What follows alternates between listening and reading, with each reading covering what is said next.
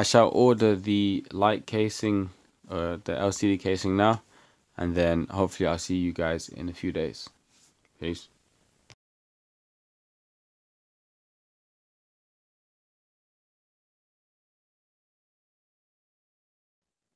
Hi everyone, so it seems like this project is as good as dead really.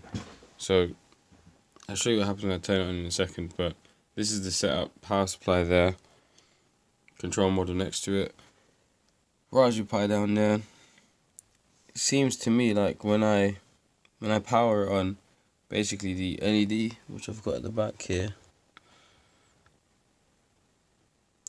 as part of the little menu system buttons, it turns on the LED but it goes green and orange. And then you hear the inverter kick on, it displays a signal on the screen and then it just turns off. So seems to me that there's even an issue with the power supply or an issue with the inverter. But I can hear you know a buzzing sound coming from the inverter for a few moments and then it turns off. So let me try and plug it in now and then I'll show you. Okay, I'm gonna plug it in now.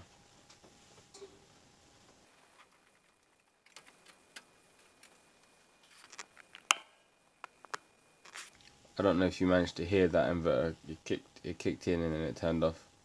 I'll do it one more time.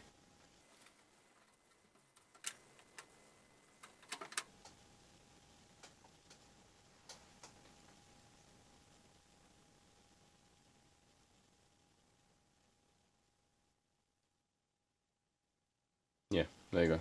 So I don't have the skill set right now to be able to troubleshoot it beyond this. I mean, up to this point, I was mostly just going on a whim, basically.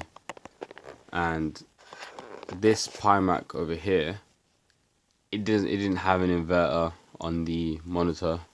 or it did, but it was it was a, a little tiny one, and um, it didn't require an external power supply. So that was all fairly straightforward for a beginner like me. But this this one here, this is complex, and I've seen all over YouTube people having problems with it, and when I've spoken to them on YouTube about it, they've been like talking about different electrical components and testing transistors, and I'm not at all on that level yet. So I'm not even going to be begin to try and analyze what's gone wrong here. Inverter, power supply, did I burn something out? Where's let me get my multimeter out?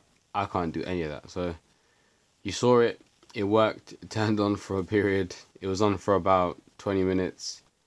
Then when I turned it off, it just never turned back on. So who knows? Maybe, hopefully, a month, two months, six months, maybe a year, I'll come back to this whole thing and fix it with my newfound skills. So that would be nice. Well, if you do have any advice, leave it in the comments below. I would really appreciate it. Thanks for watching.